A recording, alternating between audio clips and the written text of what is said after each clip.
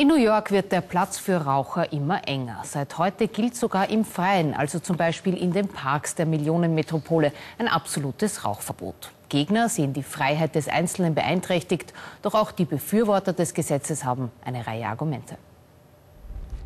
Keine Freiheit für Raucher in New York. Wer im Central Park oder am Strand mit einer Zigarette erwischt wird, muss mit drastischen Strafen rechnen. Mindestens 50 Dollar, also umgerechnet 35 Euro, sind dann fällig. Auch am Herald und am Times Square gilt ab heute absolutes Rauchverbot.